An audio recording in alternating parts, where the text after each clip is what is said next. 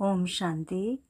आज 26 नवंबर की अव्यक्त मुरली है और रिवाइज मुरली है इकतीस दिसंबर उन्नीस सौ छियानवे।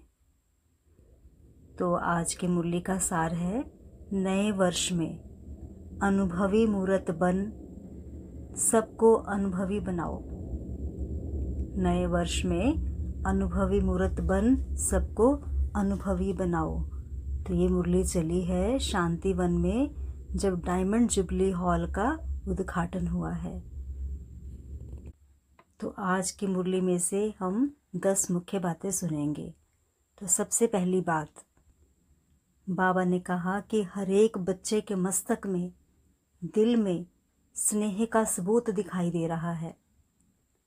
बाबा कहते, आप चाहे किसी भी कोने में बैठे हो, डायमंड हॉल के किसी भी कोने में बैठे हो लेकिन बाप के सामने हो।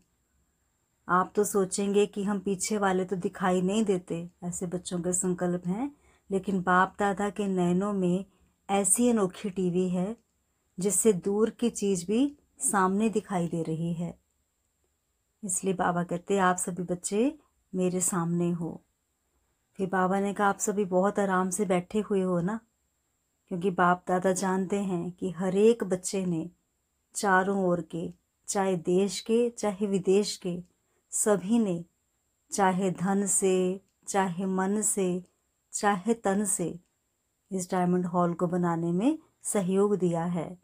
तो बाबा कहते हैं, आज आप सबके सहयोग का सबूत यही है कि आप सभी आराम से बैठकर देख भी रहे हैं और सुन भी रहे हैं। तो बाबा कहते आपकी खुशी की मन की तालियाँ बाप दादा के पास पहुँच रही हैं। और दूसरा पॉइंट है, बाबा ने कहा कि शांतिवन, जो सभी ने बहुत उमंग उत्साह से बनाया है तो उसका बाप दादा के साथ साथ आज आप बच्चे भी उद्घाटन कर रहे हो और साथ में नया वर्ष भी शुरू होने वाला है। तो बाबा ने क्या किया? सभी बच्चों को अपनी दोनों बाहों में समाते हुए दोनों बातों की मुबारक दी, शांतिवन की भी और नए साल की भी। और साथ में बाबा ने कहा, जैसे अभी इस समय साकार रूप में बाप के साथ उमंग, उत्साह और खुशी में झूम रहे हो ना तो ऐसे ही बाबा कहते, नए वर्ष में भी क्या करना, सदा अव्यक्त रूप में बाबा को अपना साथी समझना, अनुभव करना, क्योंकि ये साथ का अनुभव बहुत प्यारा है। और बाबा कहते, मुझे भी बच्चों के बिना अच्छा नहीं लगता है। तो मुरली चलाते चलाते उस समय माइक बंद हो गया। तो बाबा ने कहा ये पहला पहला अनुभव है ना? इसलिए ये भी ड्रामा में खेल समझना। कोई भी बात नीचे ऊपर नहीं समझना। अच्छा है और अच्छा ही रहेगा। बहुत अच्छा बहुत अच्छा करते आप भी अच्छे बन जाएँगे और ड्रामा की हर सीन भी अच्छी बन जाएगी। क्योंकि बाबा कहते आपके अच्छे बनने की वाइब्रेशन, कैसी भी अगर कोई सीन हो नेगेटिव को पॉजिटिव में बदल देगी। इतनी शक्ति बाबा कहते आप बच्चों में है, सिर्फ़ इसको समय पर यूज़ करो तो बहुत अच्छे अच्छे अनुभव होंगे। और तीसरा पॉइंट है, बाबा ने कहा, इस नए वर्ष में आप बच्चे क्या नवीनता करेंगे? तो बाबा ने नवीनता के बारे में बताया कि इस वर्ष अनुभवी मूर्त बन, औरों को भी अनुभव कराओ। बाबा कहते खुद भी अनुभव करना है और औरों को भी अनुभव कराना है। वाणी द्वारा तो वर्णन करते ही हो, लेकिन हर बच्चे को क्या करना है? हर शक्ति का, हर गुण का अनुभव अपने में करना है। तो इसलिए अनुभवी मूर्त बनना है। तो बाबा ने पूछा, अनुभवी मूर्त हो या सिर्फ़ वाणी मूर्त हो? तो बाबा कहते, इस वर्ष में कोई भी बच्चा ऐसे ना कहे कि मुझे इन बातों का तो अनुभव है, लेकिन इस बात का अनुभव नहीं है। तो ऐसा कोई बच्चा ना रहे तो बाबा ने समझाया कि ज्ञान का अर्थ क्या है। सिर्फ़ समझना नहीं है, लेकिन अनुभव करना है। और जब तक अपने में अनुभव नहीं किया है, तब तक औरों को भी अनुभवी नहीं बना सकते। क्योंकि अगर सिर्फ़ वाणी तक अनुभव है, और स्वयं में अनुभव नहीं है तो जिन आत्माओं की सेवा के निमित्त बनते हो तो वह भी वाणी द्वारा बहुत अच्छा बहुत अच्छा कमाल है, सिर्फ़ यहीं तक आते हैं। अनुभवी हो जाए, वह बाबा कहते, कोटों में कोई कोई में भी कोई है। तो इसलिए प्रत्यक्षता का आधार है अनुभव। तो जितना स्वयं में हर गुण, हर शक्ति का अनुभव करेंगे, उतना ही औरों को भी अनुभवी बना सकते हैं। और चौथा पॉइंट है, बाबा ने अनुभवी आत्माओं की निशानी सुनाई। तो बाबा कहते जो अनुभव वाली आत्माएँ होती हैं, वे कभी भी वायुमंडल व संग के रंग में नहीं आ सकती हैं। वाणी के प्रभाव वाले तो बाबा कहते कभी नाचेंगे और कभी सोच में पड़ जाएँगे। लेकिन जिनको अनुभव है तो अनुभव अर्थात पक्का फाउंडेशन और अगर आधा अनुभव है और आधा फाउंडेशन पक्का है तो उसकी निशानी है, वो छोटी बड़ी बातों में हिलेगा। अचल नहीं होगा, क्योंकि आने वाली बातें व समस्याएँ प्रबल हो जाती हैं। इसलिए अधूरे फाउंडेशन वाले लड़खड़ाते रहते हैं, गिरते नहीं हैं, लेकिन लड़खड़ाते हैं। तो इसलिए बाबा कहते अपने अनुभवी मूर्त के फाउंडेशन को पक्का करो। क्योंकि कई बच्चे तो बाबा कहते आज बहुत फास्ट चलते हैं और कल थोड़ा सा चेहरा बदली हुआ होता है। तो उसका कारण बाबा ने बताया कि अनुभव का फाउंडेशन पक्का नहीं है। और जो अनुभव वाली आत्माएँ होती हैं, उनके लिए कितनी भी बड़ी समस्या हो तो बाबा कहते वो ऐसे हल करेंगी जैसे कुछ हुआ ही नहीं है। समस्या आई और अपना पार्ट बजाया। साक्षी होकर, न्यारे और प्यारे होकर खेल समान देखेंगे। माना किसी भी समस्या को साक्षी होकर, न्यारे और प्यारे होकर बाबा कहते खेल समान देखेंगे। बात नहीं, उनको वो बात नहीं लगेगी, माना परिस्थिति फील नहीं होगी। क्या फील होगा? खेल, मनोरंजन। तो बाबा कहते मनोरंजन तो सबको अच्छा लगता है ना? तो अनुभव वाली आत्माएँ हर समस्या को खेल या मनोरंजन के रूप में लेंगी। तो बाबा कहते, कोई भी बात हो, आपके लिए बात बड़ी तब लगती है जब फाउंडेशन जरा भी कच्चा होता है। क्योंकि फाउंडेशन बाबा कहते, अगर थोड़ा भी कच्चा है तो हिलने का चांस संभव है। तो इसलिए बाप दादा को बच्चों की मेहनत अर्थात युद्ध करना अच्छा नहीं लगता। तो बाबा कहते, मेहनत क्यों करते हो? क्यों युद्ध करते हो? क्या योगी के बजाय योद्धे बनने वाले हो? क्या सिर्फ़ योगी आत्माएँ हो? तो बाबा ने कहा, अगर युद्ध करने वाले संस्कार होंगे, फिर चंद्रवंश में ले जाएँगे। और योगी तो आत्मा वाले संस्कार होंगे तो सूर्य वंश में ले जाएँगे।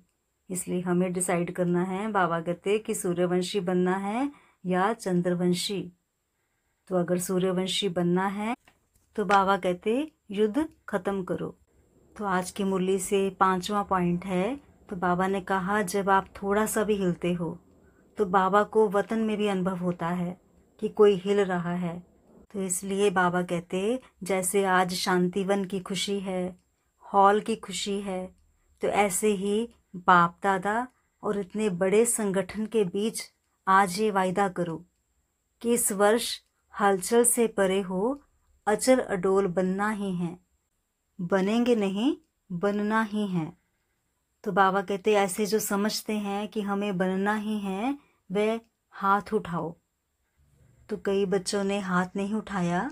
तो बाबा ने बड़े प्यार से पूछा कि शर्म आता है उठाने में? तो बाबा ने समझाया कि सोचो, अगर हाथ उठाने में शर्म आता है तो करने के टाइम भी शर्म करना। अर्थात जब किसी भी बात की हलचल में आएँगे तो उस समय बाबा कहते अपने आप पर थोड़ी लज्जा आनी चाहिए। तो सोचो कि ये शर्म की बात है तो बाबा कहते फिर वो गलती नहीं होगी। तो पक्के हो जाएँगे। और छठा पॉइंट है, बाबा ने विनाश की डेट के बारे में बताया। तो बाबा ने कहा कि चाहे निमित बच्चों से या रू रिहान में बाप दादा से बच्चे एक ही क्वेश्चन करते हैं कि, बाबा विनाश की डेट बता दो। तो बाबा कहते अच्छा डेट बता देते हैं। चलो, दो हज़ार में पूरा होगा तो क्या करेंगे? क्योंकि मुरली उन्नीस सौ छियानवे की है तो बाबा ने कहा, चलो, दो हज़ार में विनाश हो जाएगा तो क्या करेंगे? तो बाबा कहते तो अलबेले बनेंगे या तीव्र पुरुषार्थी बनेंगे? तीव्र पुरुषार्थी बनेंगे? या थोड़ा थोड़ा डेट कॉन्शियस हो जाएँगे? गिनती करते रहेंगे। कितना समय पूरा हुआ? एक मास पूरा हुआ? एक वर्ष पूरा हुआ? बाकी इतने मास हैं। तो डेट कॉन्शियस बनेंगे या सोल कॉन्शियस बनेंगे? क्या करेंगे? बाबा कहते, ये नहीं सोचेंगे कि अभी चार वर्ष पड़े हैं। क्या हुआ? लास्ट में पुरुषार्थ कर लेंगे। बाबा ने बार बार पूछा, कि ऐसे लबेले नहीं बनेंगे? या थोड़ा थोड़ा बन जाएँगे? तो साथ में बाबा ने कहा अगर नहीं भी बनेंगे मना अलबेले नहीं भी बनेंगे तो माया सुन रही है। वह ऐसी बातें आपके आगे लाएगी, जो अलबेलापन, आलस्य बीच बीच में आ जाएगा। तो फिर क्या करेंगे? तो इसलिए बाप दादा ने कहा कि डेढ़ कॉन्शियस नहीं बनो। ये सोचो कि हर समय अंतिम घड़ी है। इतना हर घड़ी में एवर रेडी रहो। फिर साथ में बाबा ने कहा, चलो अच्छा मानो, बाप दादा कहते हैं कि दो हज़ार के बाद विनाश होगा। तो दो हज़ार में संपूर्ण बन जाएँगे। और दूसरों को कब बनाएँगे? सत्युग में बनाएँगे क्या? तो बाबा कहते, बनाने वाले थोड़े हैं और बनने वाले बहुत हैं। उन्हों के लिए भी तो समय चाहिए या नहीं? बाबा कहते, अगली सीज़न में भी पूछा था कि कम से कम सत्युग आदि के नौ लाख बने हैं। तो अगर नहीं बने हैं तो विनाश कैसे हो? बाबा कहते, किस पर राज्य करेंगे? पुरानी आत्माओं के ऊपर राज्य करेंगे। नई आत्माएँ तो तैयार हुई नहीं और विनाश हो जाए तो क्या करेंगे? तो इसलिए बाबा ने समझाया कि डेट कॉन्शियस नहीं बनना है। और बाबा ने एक बात कही, प्यार से ऐसे बाबा कहते, बाप दादा ने ये काम अपने बच्चे जो ज्योतिषी हैं उन्हों के ऊपर रखा है। जो ज्योतिषी कर सकते हैं, वह बाप क्यों करेगा? फिर भी हैं तो बाप के बच्चे। तो बाबा कहते, उन्हों को कमाने दो। उन्हों की कमाई का साधन यही है।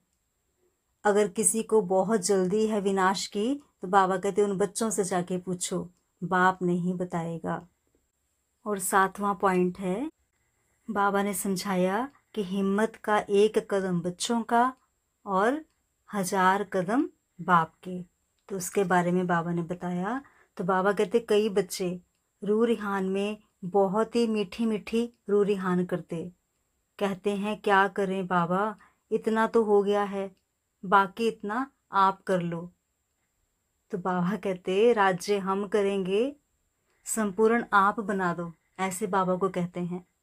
तो बाबा कहते, ऐसे होगा?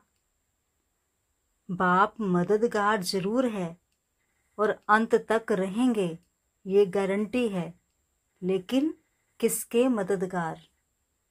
तो बाबा ने कहा, जो पहले हिम्मत का पाँव आगे करते हैं, फिर बाप मदद का दूसरा पाँव उठाने में संपूर्ण मदद करते हैं। तो बाबा कहते, आप बच्चे हिम्मत का पाँव उठाओ नहीं और सिर्फ़ कहो कि, बाबा आप कर लो, बाबा आप कर लो। तो बाप दादा भी पहले देखेंगे कि पहले पाँव तो रखो। अगर एक पाँव भी नहीं रखेंगे तो कैसे होगा? तो इसलिए बाबा ने कहा, इस वर्ष हर समय ये चेक करो कि हिम्मत के पाँव मज़बूत हैं। बाप को कहने के पहले ये चेक करो। हिम्मत का पाँव बढ़ाया और मदद नहीं मिले, ये असंभव है। सिर्फ़ बाबा कहते थोड़ा सा हिम्मत का पाँव बढ़ाओ। इसीलिए गाया हुआ है, हिम्मते बच्चे, मददे बाप। तो बाबा कहते, इसको उल्टा नहीं करो कि मददे बाप और फिर हिम्मत बच्चों की। तो निश्चय से हिम्मत का पाँव जरा भी आगे करेंगे तो बाप दादा पदम गुणा मदद के लिए हर एक बच्चे के लिए हर समय तैयार है। और आठवां पॉइंट है, बाबा ने कहा, वारिस क्वालिटी की आत्माएँ तैयार करो। यहाँ बाबा कहते अगर वारिस तैयार करेंगे, तब एडवांस पार्टी भी प्रत्यक्ष होगी और बाप के नाम का और प्रत्यक्षता का नगाड़ा चारों ओर बजेगा। अभी तक तो बाबा कहते रिज़ल्ट में सिर्फ़ इतना ही कहते हैं कि ये अच्छा काम कर रहे हैं। या कोई कोई कह देते हैं कि ये अच्छा काम यही कर सकते हैं। लेकिन परमात्मा की तरफ़ अटेंशन जाए। परम आत्मा का ये कार्य चल रहा है, वह अभी गुप्त है। बच्चे बाबा कहते अपनी शक्ति से, स्नेह से, बाप को प्रत्यक्ष करने का अच्छा पुरुषार्थ तो कर रहे हैं। लेकिन अभी तक बाप की प्रत्यक्षता मैदान पर नहीं आई है। बाबा कहते, अभी तो सबके मुख से ये निकले कि बस अभी समय आ गया, बाप आ गया, तब विनाश भी आ जाएगा। तो इसलिए बाबा कहते, बाप से पूछो नहीं कि विनाश कब होगा। बाप तो आपसे पूछते हैं कि आप कब तैयार होंगे। बाबा कहते, मैं तो अपने बच्चों से पूछता हूँ कि आप कब तैयार होंगे पर्दा खोलें, तैयार हो। कि पर्दा खुलेगा और तैयार होते रहेंगे। बाबा कहते, कम से कम सोलह हज़ार एक सौ आठ पक्के पक्के रतन तो प्रत्यक्ष करो, माला तो बनाओ तो बाप भी देखें कि तैयार हैं। इतनी मार्जिन है, ज़्यादा नहीं कह रहे हैं। बाबा कहते, नौ लाख भी नहीं कह रहे हैं। सोलह हज़ार एक सौ आठ की माला तो बनाओ तो इस वर्ष बाप दादा देखेंगे कि सोलह हज़ार एक सौ आठ की निर्विघ्न अचल माला तैयार है या भी थोड़ा थोड़ा लड़खड़ाते हैं थोड़ा थोड़ा खेल दिखाते हैं। तो बाबा कहते अच्छा अठारह तारीख को, माना अठारह जनवरी को माला बनाकर देना। तो हाथ उठवाएँगे तो आधी सभा कहेगी, सोलह हज़ार में है। तो बाबा कहते अच्छा जो समझते हैं कि हम सोलह हज़ार में हैं। तो वो दादियों को अपनी चिटकी लिख कर देना कि मैं सोलह हज़ार में हूँ या एक सौ आठ में। फिर दादियाँ पास करेंगी। और ऐसे नहीं समझना कि चिटकी दे दी है। तो पहले ये दादियाँ पास करेंगी, फिर बाप दादा पास करेंगे। फिर बाबा फाइनल रिज़ल्ट बताएँगे। और नौवा पॉइंट है आज का वरदान। अपने आदि अनादि स्वरूप की स्मृति द्वारा।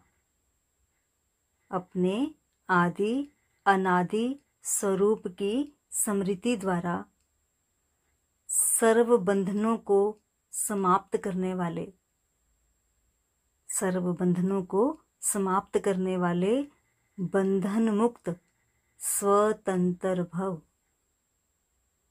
बंधन मुक्त स्वतंत्र भव तो क्या है आज का वरदान? अपने आदि अनादि स्वरूप की स्मृति द्वारा सर्व बंधनों को समाप्त करने वाले बंधन मुक्त स्वतंत्र भव। तो बाबा कहते, आत्मा का आदि अनादि स्वरूप स्वतंत्र है, मालिक है। ये तो बाबा कहते, पीछे पर तंत्र बनी है। मन आत्मा द्वापर युग से परतंत्र बनी है, इसलिए अपने आदि और अनादि स्वरूप को स्मृति में रख बंधन मुक्त बनो। आदि माना सत्य की स्मृति और अनादि माना परम धाम की स्मृति। तो इन दोनों स्मृतियों को बुद्धि में रख बाबा कहते बंधन मुक्त बनो। मन का भी बंधन ना हो। अगर मन का भी बंधन होगा तो वह बंधन और बंधनों को ले आएगा। बंधन मुक्त अर्थात राजा। क्या कहते बाबा? बंधन मुक्त अर्थात राजा। स्वराज्य अधिकारी। तो ऐसे बंधन मुक्त स्वतंत्र आत्माएँ ही पास विद ऑनर बनेंगी। अर्थात फ़र्स्ट डिवीज़न में आएँगी। और दसवां पॉइंट है आज का स्लोगन मास्टर दुख हरता बन, दुख को भी रूहानी सुख में परिवर्तन करना ही सच्ची सेवा है। मास्टर दुख हरता बन, दुख को भी रूहानी सुख में परिवर्तन करना ही सच्ची सेवा है। तो बाबा ने सच्ची सेवा की परिभाषा बताई कि मास्टर दुख हरता बनकर और सभी आत्माओं के दुखों को भी रूहानी सुखों में परिवर्तन करना है। तो ये आज की 26 नवंबर की अव्यक्त मुरली में से 10 मुख्य बातें हैं। ओम शांति ओम शांति।